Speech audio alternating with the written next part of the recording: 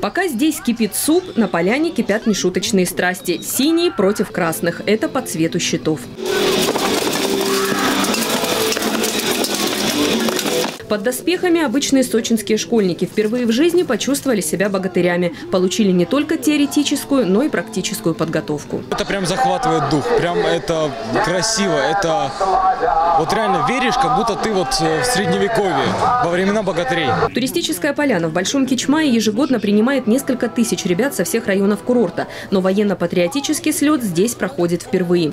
Сюда приехали больше 400 участников военно-патриотических клубов города, отрядов юнармии и казачьей молодежи. Наша задача показать им, что это направление, оно правильное, интересное, и это направление объединяет всех. Программа лагеря трехдневная, и программа лагеря очень насыщенная. Здесь нет ни одного э, свободной минуты. Гостями слета стала дружина святорусского богатырства из духовно-культурного Кремля «Богатырская слобода». Это в Тольятти.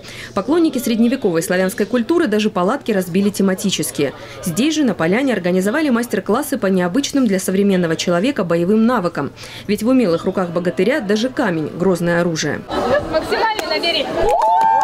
Спортивно-культурная программа «Богатырская силушка» – это и выступление богатырей в полных исторических доспехах, и стрельба из рогатки, и древнерусский тир, и богатырские забавы. Возрастного ценза нет. На ресталище пускают даже самых маленьких.